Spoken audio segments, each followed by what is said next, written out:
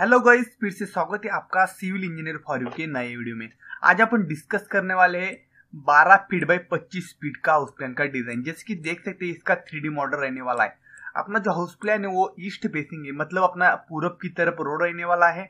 और जैसे कि देख सकते उसके तीनों साइड मतलब ये तीनों साइड अपना कवर्ड रहने वाले अदर ओनर्स प्रॉपर्टी रहने वाली है। सो तो वेंटिलेशन अपन को खुद के प्लॉट में एडजस्ट करना पड़ेगा।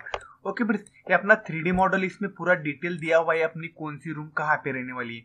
इसमें हमने डिज़ाइन किया हुआ है एक किचन कॉमन टॉयलेट और हॉल जिसमें अपन को डाइनिंग और स्टेरकेस मिल जाती है। जैसे कि देख सकते हैं, यहाँ पे आपको पहले थ्री नक्शा दिखा देता हूँ मतलब आपको समझा देता हूँ अपना कैसा रहने वाला है। बाद में टू नक्शा में देखेंगे पूरा कौन सा रूम का डायमेंशन क्या रहने वाला है। ठीक है? यहाँ पे देख सकते हैं, दो स्टेप चढ़ के हम इस मेन डोर से अंदर चले जाएँगे। यहाँ पे हमें लिविंग रूम मिल जाता है, ठीक है? यहाँ पे हमारा सीटिंग रहेगी और यहाँ से हमारा स्टेयर के स्टार्ट होगी, जिससे आप ऊपर की मंजिल पे चले जाएँगे। अगर वेंटिलेशन की बात करें तो सामने की तरफ़ एक विंडो दी हुई है, जिससे हमारे लिविंग हॉल को वेंटिलेशन मिल सके। यहीं से हमारा किचन और टॉयलेट का डोर मिल जाता है। वेस्ट साइड उस तरफ़ हमारा किचन रहेगा और यहाँ पे उसके बाजू में हमने टॉयलेट दिया हुआ है।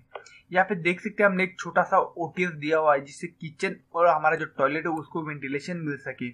ठीक है? अभी उसकी साइज़ की बात करें, अभी टू नक्शा देखेंगे उसके क्या साइज़ रहने वाली है।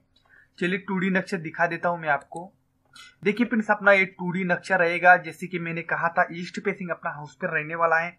ईस्ट तरफ़ अपना रोड रहेगा और तीनों साइड कवर्ड है। ठीक है? यहाँ पे मेन डोर दिया हुआ है, जिससे अंदर चले जाएँगे तो लिविंग हॉल में पहुँच जाएँगे। यहाँ पे अपनी लिविंग की साइज़ मिल जाएगी 11 फीट उसकी चौड़ाई रहने वाली है और 14 फीट 9 इंच उसकी लंबाई रहेगी। यहाँ पे अपना सीटिंग रहेगा, यहाँ से अपना स्टेयर स्टार्ट होता है, यहाँ से इस तरह आप अपन ऊपर की मंजिल पे पहुँच जाएँगे।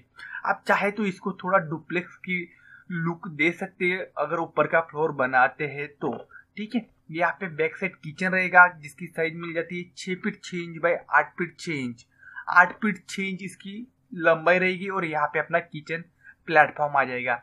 उसके सामने देख सकते हैं कि विंडो दी हुई है, जिससे हमारे किचन को वेंटिलेशन मिल सके। ठीक है फ्रेंड्स यहाँ पे देख सकते हैं, एक और विंडो दी है जो कि हमारे टॉयलेट की रहने वाली है। और टॉयलेट की साइज़ मिल जाती है चार फीट बाई छः फीट चार फीट उसकी चौड़ाई है और छः फीट उसकी लंबाई है।